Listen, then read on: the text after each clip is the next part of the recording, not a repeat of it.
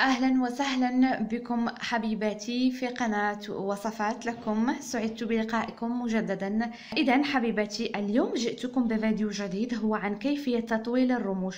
هذا الفيديو من طلب بعض المتتبعات لذا اليوم جئتكم بوصفة هائلة وممتازة في تطويل الرموش. فقط داوموا عليها وسوف تلاحظون النتائج. إن شاء الله سوف تكون نتائج مبهرة بإذن الله. إذا مكوناتها ممتازة في تطويل الرموش. أول مكون سوف نحتاج إليه سنحتاج هنا إلى زيت الخروع. زيت الخروع هو رائع جدا ومعروف عن مدى فوائده في تطويل الرموش وكذلك تطويل الشعر.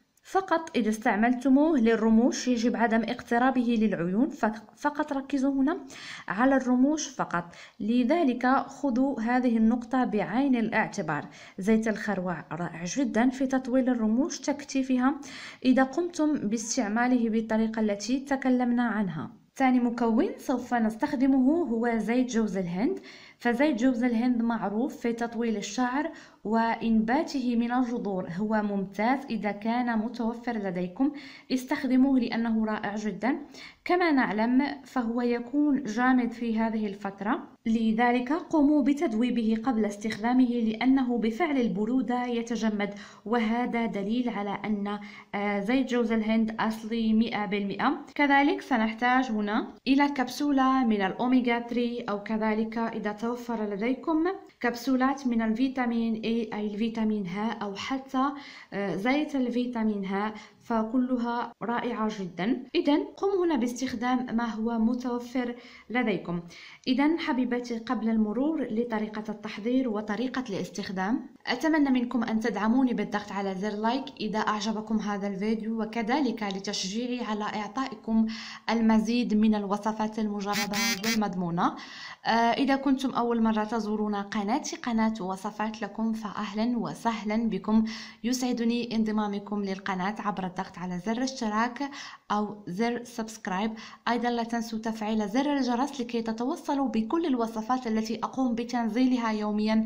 وشكرا لكم وشكرا على وفائكم الدائم لقناة وصفات لكم. إذا هنا على بركة الله سوف أضيف هنا بعدما قمت بتدويب زيت جوز الهند سوف أضع هنا مقدار ملعقة صغيرة أو مقدار ملعقة كبيرة بهذا الشكل. سوف نضيف كذلك مقدار ملعقة من زيت الخروع. ضروري أن تكون هنا المكونات أصلية مئة بالمئة حتى نتحصل على النتائج المراد الحصول عليها. سوف أضيف نفس المقدار يعني مقدار ملعقة كبيرة من زيت جوز الهند وكذلك مقدار ملعقة كبيرة من زيت الخروع. بعد ذلك سوف نضيف هنا كما قلت إذا كان متوفر لديكم كبسولة من الأوميغا 3 أو كبسولة من الفيتامين ه أو حتى زيت يعني الفيتامين ه كل المكونات فهي رائعة جدا. إذن سأضيف هنا كبسولة الأوميغا 3 بهذا الشكل.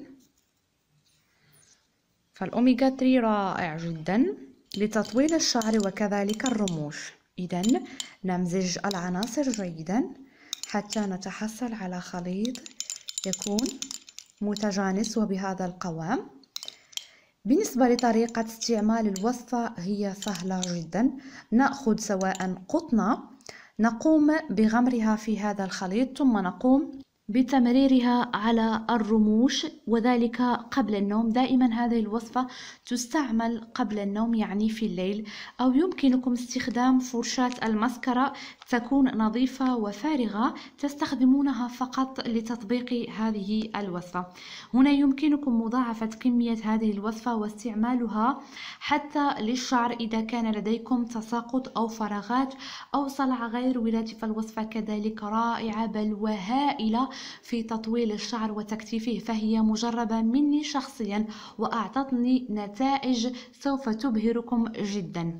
آه، إذا هنا إذا قمتم بعمل كمية كبيرة ممكن الاحتفاظ بها في قنينة أو علبة زجاجية تحتفظون بها في مكان جاف ثم تستخدمونها بشكل يومي على رموشكم. فقط كما قلت تجنبوا يعني اقتراب هذه الوصفة لداخل العينين فقط طبقوها للرموش حتى تحصلون على نتائج جد جيدة. يعني نطبقها بالليل وفي الصباح نقوم بغسلها كما قلت كرروا هذه العملية يوميا حتى نتحصل على نتائج مبهرة بإذن الله. كانت هذه هي وصفة اليوم جربوها إن شاء الله. أنا جد متأكدة أنكم سوف تدهشكم النتيجة بشكل رائع. إذا أعجبكم هذا الفيديو لا تبخلوا علي بالضغط على زر لايك ومشاركته مع أصدقائكم. أيضا لا تنسوا الاشتراك في القناة مع تفعيل زر الجرس لكي تتوصلوا بكل ما هو جديد وإلى اللقاء.